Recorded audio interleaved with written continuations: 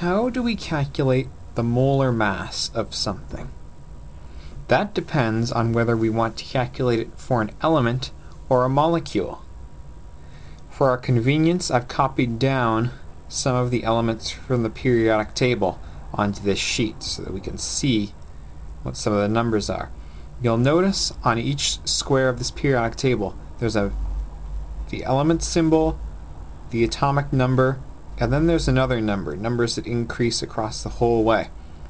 H hydrogen has 1.008, O is 16.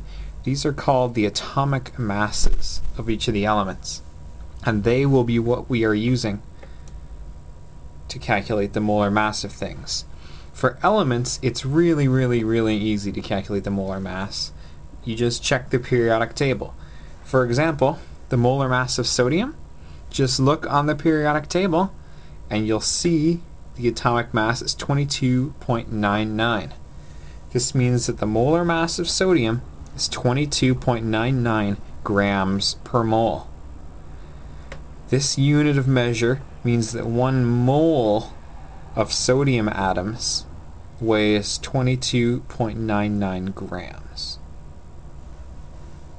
If we want to calculate the molar mass of a molecule, things get a little more complicated. We have to add up the masses of each of the atoms.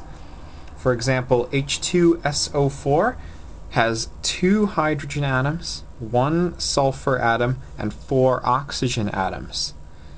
What we do to calculate the molar mass is take 2 times the molar mass of hydrogen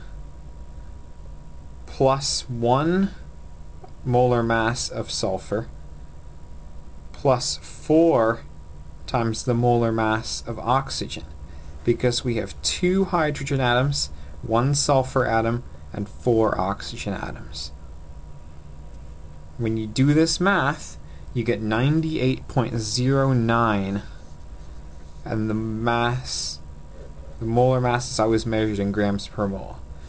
The molar mass of H2SO4 98.09 grams per mole.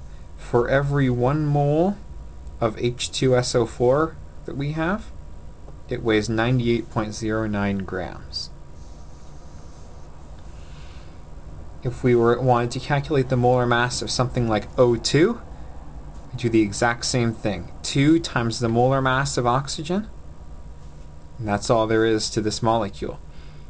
We get 32 grams per mole.